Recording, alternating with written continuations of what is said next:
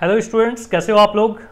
देखिए, अभी नया जो सिलेबस आया है रिवाइज होके पैंडमिक के कारण, जो कोरोना पैंडमिक चल रहा है, उसके कारण जो नया सिलेबस रिवाइज होके आया, उसमें क्या क्या चेंजेज हैं क्या क्या चीज़ें आपको नहीं पढ़नी है, उसके बारे में हम लोग यहाँ पे बात कर रहे हैं। तो इस तरफ़ मैंने लिया है आपका, ये जो आपका दिख रहा है सेक्टर पता नहीं आपको दिख रहा है कि नहीं, ये सेक्टर जो है, जहाँ पे आपको ब्लिंक होता हुआ दिख रहा होगा, ये सेक्टर हमारा नया वाला है, ये हमारा पुराना वाला है, ये।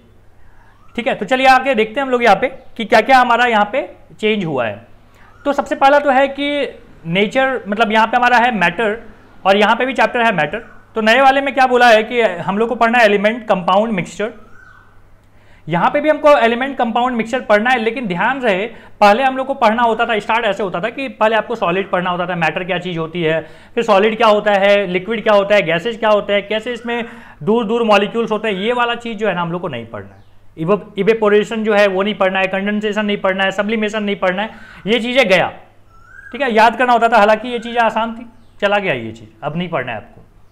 दूसरा है कि यहाँ पे हम लोग देख रहे हैं कि नेचर ऑफ़ मैटर के बारे में नेचर ऑफ़ मैटर हम लोग को पढ़ना है, और पूरा पढ़ना है। जैसे एलिमेंट है कंपाउंड है मिक्सचर है होमो हेट्रोजीनियस है होमोजीनियस मिक्सचर है कोलाइडल सॉल्यूशन है तो ये सब चीज़ें हम लोग को यहाँ पे भी, पहले भी पढ़नी थी, अभी भी पढ़ना है।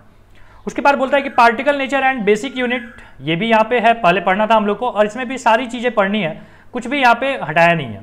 उसके बाद है structure of atom structure of atom के बारे में भी आपको सारी चीज़ें पढ़नी है, जैसे आप पहले पढ़ रहे थे, वैसे अभी पढ़ना है। क्लियर तो क्या नहीं पढ़ना है आपको यहाँ पे?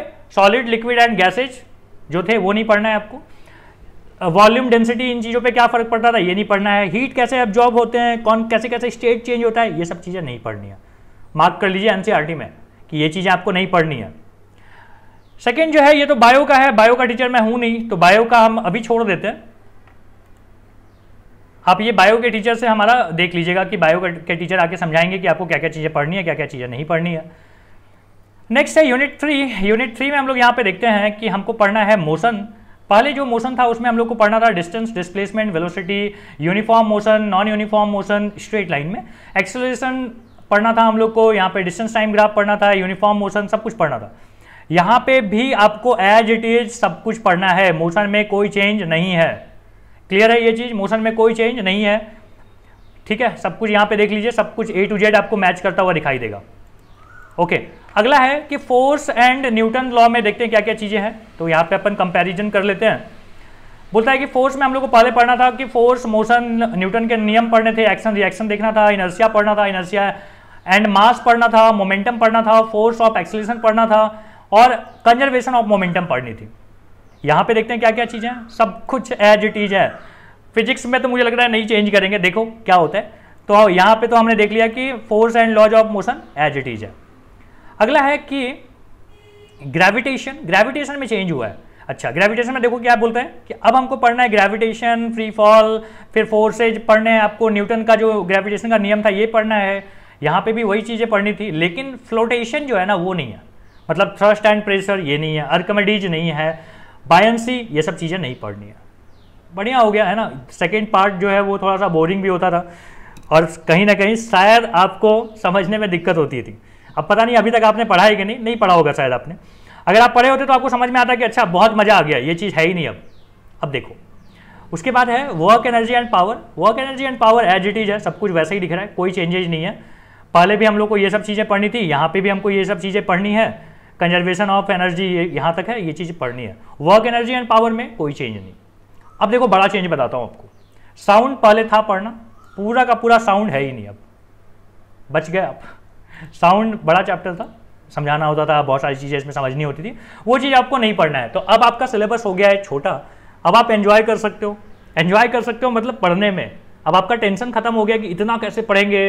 अभी अचानक क्लास स्टार्ट होगा तो सिलेबस जल्दी जल्दी जाएगा। नहीं, ऐसा कुछ नहीं होगा।